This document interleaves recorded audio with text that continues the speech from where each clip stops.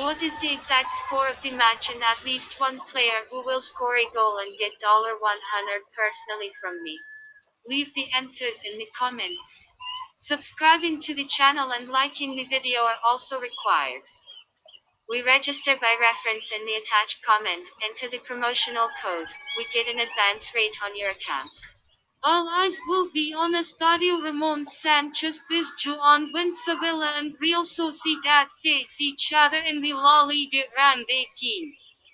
Los Sevillanos shared the spoils with Real Betis in the Seville derby, with Los Beticos failing to convert a penalty kick.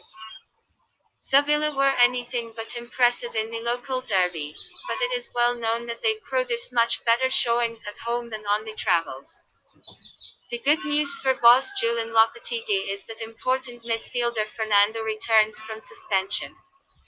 La Real, on the other hand, came from behind to share the spoils with Osasuna in their last league match.